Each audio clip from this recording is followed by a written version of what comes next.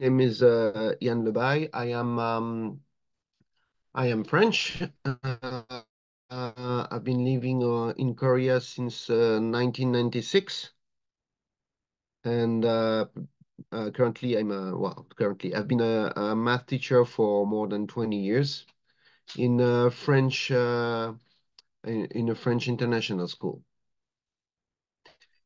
Yeah. and also I like uh, I like doing magic and uh, well, I like a lot, doing a lot of things. I have a lot of uh, hobbies. Right. Good morning, sir. My name is Jessica, an eighth grader from ZPHS School, Ilavaram. I am so glad to interact with you. Here, I would like to share a little information. India has made significant contributions in the evolution of mathematics. Aryabhatta, Brahmagupta, and Bhaskara are some of the famous mathematicians from ancient India. In this context, I would like to ask you a question. My question is, what is your perception towards Korean students in learning math? Okay. Um, as I, as I told you, I um, students are not typically Korean students. Uh, lots of them are Korean from Korean background, but they, they don't go to a normal Korean school. Uh, Korean uh, Korean students in Korea uh, mostly they, um, and uh, in uh, in France, in France we have a tendency to uh, try to emphasize the the the the, the proof so we have a tendency to to ask always why. Uh, and uh, in Korea, uh, the the the emphasis is um, mostly on the the the answer, the result. So it's a little bit more what. So if you if you see um, a test uh, from a French curriculum, you will see that you have uh, I don't know prove that uh, this length is seven centimeter. And in uh, Korean uh, tests, you will have uh, this is the length and what is the what is the length and you're gonna have um, some checkbox with a six seven eight and nine centimeters and the students will have just to check the answer. So it's very different because uh, in the french system we actually give the answer but you are the student has to show how to get to the answer. Wow that's good afternoon. How are you I'm fine. My name is Madhavi. I am an 8th grader from the PH School, Ilavaram. I would like to share a little information. Life in India is unlike anywhere else. While the hugely crowded cities can make the country a little daunting for first, for first visitors, the hustle and noise are normal aspects of day-to-day -day life. In this connection, now, I would like to take it an opportunity to ask you a question. Can I ask, sir? Of course. What is life like in South Korea? Oh, that's a great question. Um, uh, compared to, to France, um, uh, life in, uh, in Korea is very, I would say, fast-paced. Everything is going very, very fast. And um, compared to France, um, uh, I wouldn't. I would say people care a little bit less about quality of life. Um, French people often complain that in Korea everything is very, very noisy. However, um, it's a very, very safe country uh, with uh, not a lot of crime, and uh, you can go out anywhere at any time of the of in the night, and even if somebody walks behind you, you you won't even look back because there's no threat. You don't live in, in any kind of fear. So it's a very safe country and you feel very relaxed living, living in Korea compared to, to France, for instance, where when it's very late at night and somebody's behind you, you're going to have to check to make sure that it's safe. So, um, and I'm not saying that uh, France is a very dangerous country, but um, the feeling in Korea is, uh, yeah, it's very, very relaxed. Though Korea is a very, very noisy country. So you have. Thank you, sir. you have just told that the, the life in South Korea is so safe. Is it because of uh, the laws that are uh, being implemented strictly in South Korea? Uh, so in order to reduce the crime rate uh, all-time low? Uh, actually, I, I, I think that the laws are mostly uh, the same everywhere, you know, you shouldn't steal, you shouldn't kill. So I don't think it's uh, it's about the laws. I think it's uh, it's very cultural. Um, it's uh, uh, in Eastern Asia, you know, you have the the the um, the, the cultural um, notion of shame, and you bring shame to yourself and to your family. So being a thief is very shameful and you really really be out of the society. In in france being st stealing something is sometimes it's a joke. It's a little it's a little bit like um you know going against the authority and it's kind of national sport. Uh, whereas in in korea uh, stealing is really really something very shameful. So i'm not saying there are there aren't any thieves in korea for instance but it's uh, way way less than uh, you can uh, find in Western countries. Hello. How are you, sir? I'm I'm great. I'm having a great time. This is Akash Kumar, an grader from JPHS Ilavaram. I am so excited to interact with you. Now I would like to share little information.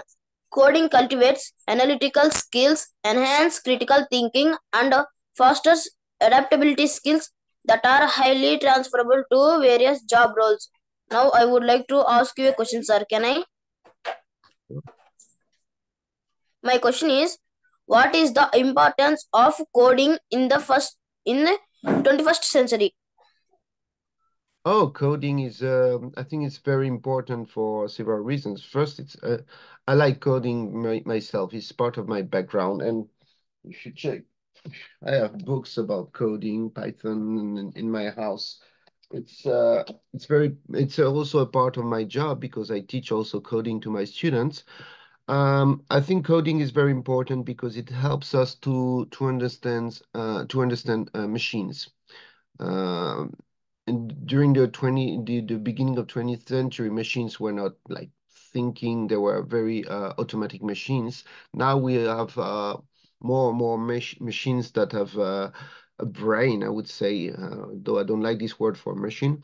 But uh, lots of people who use this, uh, these devices, they just don't understand how it works. And sometimes there are problems with them and they don't know what to do if you understand coding, then you understand how the, the, the device or the machine works. And if you have a problem, you um, you can go around without always have to call somebody who is a specialist. And uh, the more you know about uh, coding, the more you know about uh, machines and devices. It's a little bit like before the area of electronics, when you you had uh, people were very skilled uh, at uh, fixing electronics or fixing even electricity or or even uh, putting a nail in a, in a piece of wood, uh, we more or less we're more or less losing these kind of skills but we need uh, to gain some more skills um, that are more adapted uh, to uh, the 21st century. So I think coding is a very, very, very important to understand how machines can think. Thank you. Thank you so much. Uh, Gayatri, over to you. Good afternoon, sir. Good afternoon. My name is Gayatri and I graduated from Jilla Parishad High School, Ilavaram. I'm so jubilant to interact with you. Here I would like to share a, a little information. The use of magic squares is illustrated for balancing out linear trend from main variable effects and lower order interactions. Here I would like to ask you a question. Can I ask, sir? Of course. Could you please tell us more about your great work on magic squares? Okay. So um, um, um,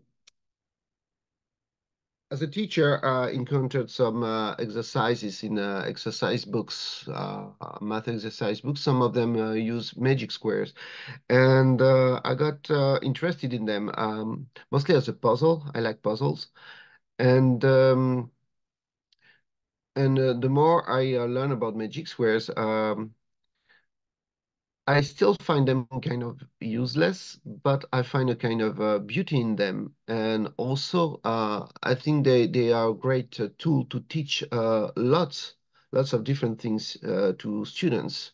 Um, first, vocabulary, like, you know, you have uh, lines, rows, and columns, and diagonal, and you can also teach symmetry because um, uh, magic squares can work both ways, uh, left and right, right and left, because it's about additions. And also, um, uh, you can teach uh, algorithm because making a big magic square needs to know uh, to you need to know method, otherwise otherwise knows, known in English as an algorithm. So it's also good for coding because you can code uh, asking uh, the computer to make a big magic square. And well, they, they have uh, lots of properties that I find uh, beautiful and uh, interesting in uh, in themselves. So they can be a challenge. They can be used in magic tricks. I've seen some magic tricks on TV where people, uh, where the magician uses a magic square. So they they are actually versatile. And though the in themselves they don't have a lot of mathematical mathematical value, but studying them can uh, can give uh, a lot of skills and reveal a lot of uh, very uh, important and interesting things about mathematics.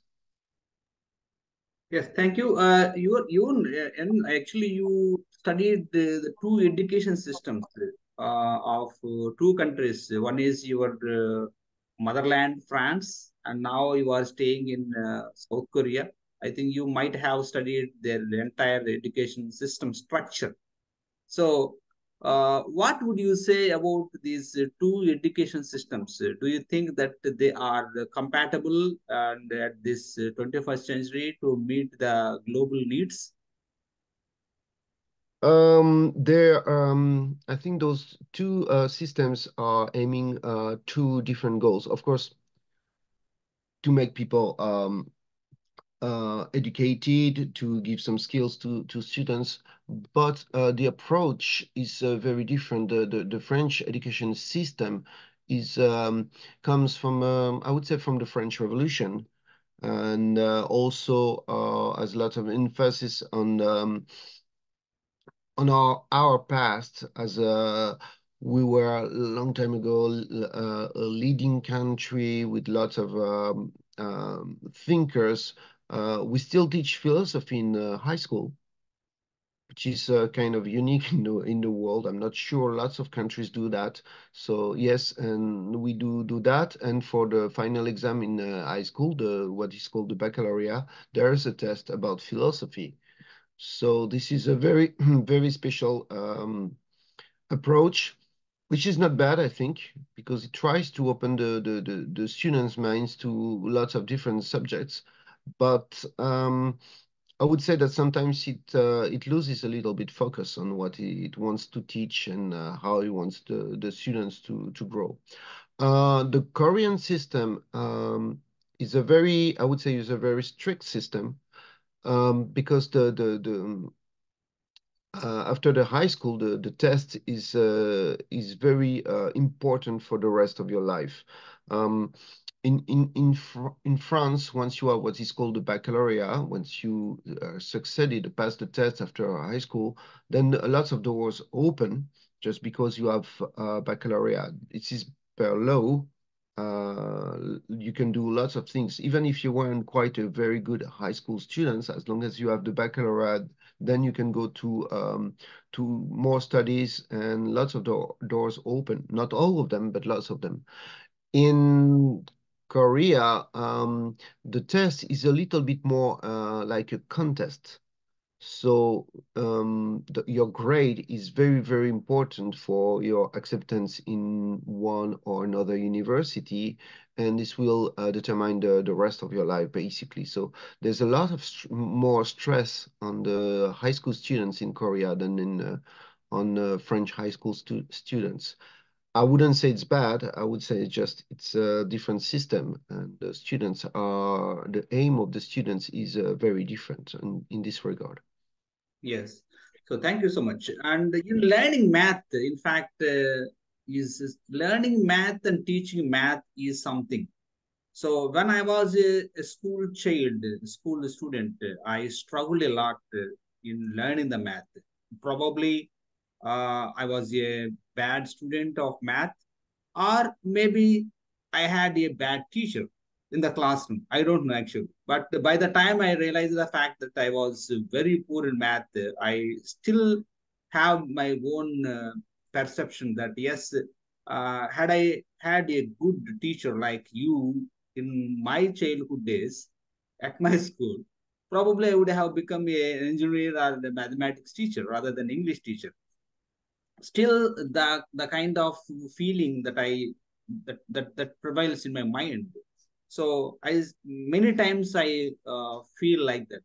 And so when you teach math to students and you know that uh, there are uh, many students in the classroom and their levels are different. One student is different from another student.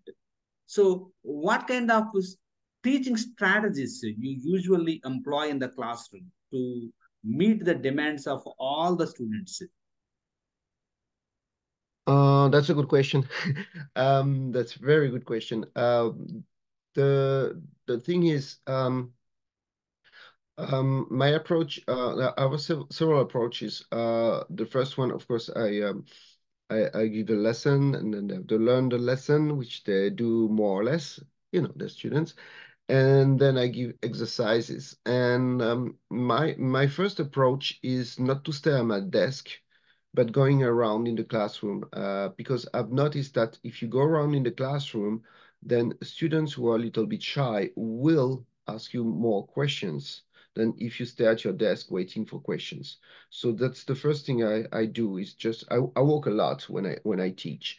The the second thing I do is uh, I check what they do and I always try to have a very positive attitude on uh, what they do. I never say, "Oh, this is wrong" and everything. I say, "Oh, look at that. Uh, you missed this point, and you can you can do this a little bit better." Or, "Okay, I'll explain you again." And uh, I try to explain also uh, uh, several different ways. Uh, in um, in education, it has been proven that one explication sometimes not enough. A different one or teaching differently the same thing can help another students. So I try to have various uh, different explanations for the same thing, several uh, different approaches for the same uh, concept, because some students will understand one one way and some students will understand another way. And um, yes, I try to be uh, always very positive. And if some students are very good, which uh, fortunately I have some very good students in my classes. Uh, I give them a little bit more uh, exercises or sometimes um, I give them a puzzle. Uh, I like to teach with a puzzle, which is not what I always do, but sometimes I like to give them puzzles and even sometimes puzzles uh, that we are, require um, much more like logical skill than uh, mathematical skill um, because sometimes the how can I say, the, the students who struggle, sometimes they can find the, the answer, whereas the, the, the students who are very good won't find the answer. So I like to use also puzzles in my in my class. Sporadically, not a lot, but uh, sometimes. Yeah, there is a, uh, so still we have one more question. Rutika, are you still available for us? So you broke up yes, a lot. Sir. Yeah, please. Rutika, go ahead, please. Good afternoon, sir. Good afternoon, sir. My name is Ritika, an 8th grader from ZDH School, Ilavaram. I am so privileged to interact with you. I would like to share a little information. Effective use of teaching strategies brings positive learning outcome in the students. They feel highly motivated to participate in teaching learning process. It promotes deep and long lasting learning. In this context, I would like to ask you a question. My question is, what is your approach in teaching math? It looks like he has just uh, answered to this question. Uh, uh, Okay, um, but I will, will answer uh, not to a teacher now, but to a students about my approach in teaching math. Because uh, what I, my answer before was a little bit for, more for the teacher, and here we have a student. So um, when you have me as a teacher, uh, first you will always uh, see me smiling. I'm a very smiling person, and I think uh, it's important in the in a class to have um, somebody very positive because when you have a grumpy teacher, you don't feel like studying. So I'm always uh, trying to smile, even if uh, sometimes my, my life is not uh, very positive. And also, um, as a as a teacher who teach uh, who teaches students who are not always um, very comfortable with French language, I try to uh, keep their attention to their attentions with uh, with some kind of little jokes, uh, puns also of French language uh, to keep their interest. Because when you miss a joke, you wake up and you look, what did he say? What did he say? You know, uh, next to your your friend. And also using some puns in French can uh, also help them uh, develop their French speaking ability. So that's also one of uh, of uh, approach I do to the students. So if you have to ask this, my students, they will say that I'm always sm smiling and I try to be always smiling. Well, sometimes I, I get a little bit angry on some um, naughty students, but most of the times uh, I'm I'm smiling and I try to to have a very positive attitude in class. Okay, thank you so much. And magic trick I could do uh, like this. So um, I prepared I prepared a little something with uh, some rubber bands. Can you see them? Yeah, yeah, we can see. So my my question is, uh, you have rubber bands, and when you do like this, first, uh, what what are rubber bands made of? So students, fine, fine. So I'm gonna take a rubber band and I'm going to just a second. Okay, it's broken here. So my rubber band is broken. Now I'm going to fix it. So I'm going to show you like this. I'm going to fix it like that. I just do this, rub it a little bit more, and now it's fixed. So students, and I know people don't believe me. students, and I know people don't believe me, so I'm going to do this and show you that the rubber band is actually fixed. If you if you think a little bit rationally, and mm. if you if you see that the reason result of my rubber band being broken is being fixed, it may be because it's never been broken at first. So what happens here is that when I, I, I, show you the rubber band and I break it, mm. maybe it's not broken, actually just pulled like this. Right, right, yes. Of course, there's a little bit of manipulation to make it make you feel like I broke it, mm. and which uh, I did off screen. Yeah. But uh, the idea is this. I pretend to break, I pretend to break the rubber band. Actually, I'm, the rubber band is like this. I mm. pretend to break it.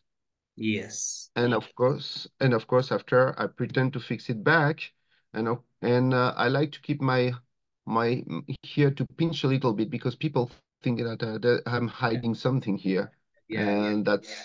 that gives a, a, a little more effect and that's why. So of course the the rubber band has never been broken. Yeah, to, to tell you that I was uh, very impressed uh, by your by your first by your interest, also by your uh, English level, and um, uh, also by uh, your kindness. And uh, that was a great honor for me to to be invited here and uh, if you have uh, any question, ask your teacher, and he's gonna re relate to me. And uh, thank you, thank you all of you for this uh, great time I, uh, I had the, the, the pleasure to spend with you. Thank you so much. And before we wind up this session, I request you to give a few tips to my students to learn mathematics. Oh, few tips. Um, practice lots of uh, what you do in mathematics requires just to practice you know algebra you know uh, with the when you work with the numbers and everything just lots of it is practice when you once you're comfortable with practice then uh, you're gonna see that theory is uh, is getting easier to understand practice a lot. Thank you. Thank you so Uh, much. Yeah. I would ahead. say a little bit like a musician who has to do uh, uh, lots of practice, uh, you know, uh, not always playing music with his friends, but always always exercise and practice. Or somebody who plays football is not going to be uh, always doing uh, football matches, but is going to have to learn how to run, how to kick a ball again and again and again. It's not fun always, but uh, it's necessary. So it's uh, very important to have good practice. Thank you so